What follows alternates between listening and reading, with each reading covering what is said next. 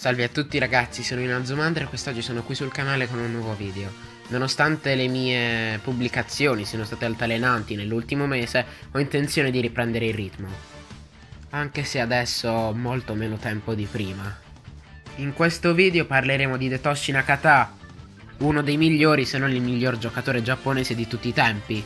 L'esserlo lo ha fatto comparire in vari anime e manga come Zatch Bell, Oli e Benji o Detective Conan in essi avrà quasi sempre un ruolo marginale o direttamente come easter egg, come giusto che sia, ma in Azuma Eleven cambierà questa striscia di apparizioni da comparsa e in esso diventerà un personaggio di rilievo.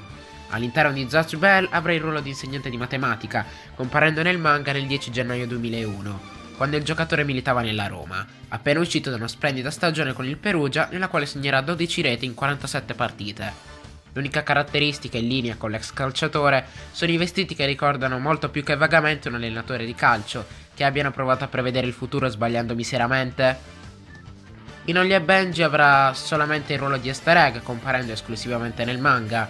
Non si sa né in quale momento né in quale numero specifico del manga, ma grazie ad una foto di un lettore giapponese possiamo chiaramente vederlo. Anche in Detective Conan avrà il ruolo di semplice easter egg, comparendo nel film l'undicesimo attaccante, nel 14 aprile del 2012, quando ormai avrà già terminato la propria brillante carriera. Rappresenterà i Tokyo Spirits con la maglia numero 16. Durante la partita verrà afferrato per maglia da un avversario, un personaggio dal nome sconosciuto di Big Osaka.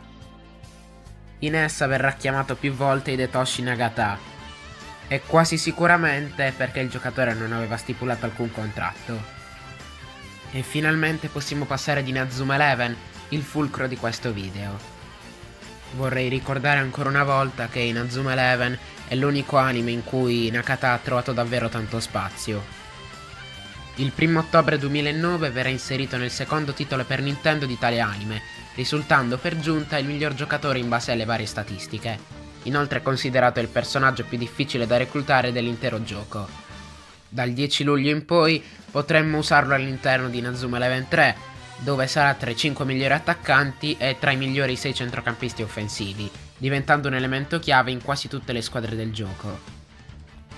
Il 10 novembre 2010 farà la sua prima comparsa nell'anime, subentrando nella partita Giappone-Italia dell'episodio 106, da questa puntata riusciamo a farci un'idea del carattere del capitano dell'Italia.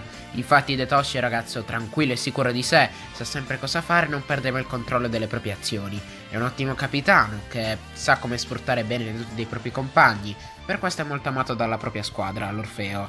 Riesce a capire al primo sguardo i punti di forza e i punti di debolezza delle persone, intuendo anche alcuni problemi dell'Inazuma fin dalla partita contro l'Australia ha un ottimo rapporto con Paolo, che prende il suo posto come capitano quando lui non c'è, e spesso lo aiuta e lo consiglia dicendogli cosa fare. È sempre in compagnia del suo amico Luca, ed è anche molto legato alla nipote di Re Dark. Infine spesso spia le partite dell'Inazuma Japan.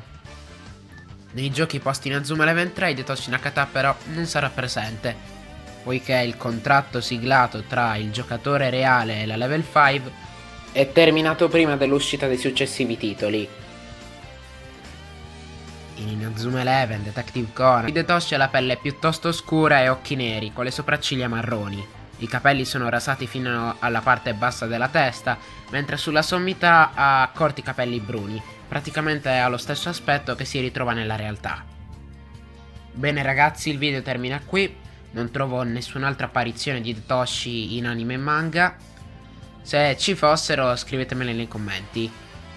Un saluto da Andrea e ci si vede con un prossimo video.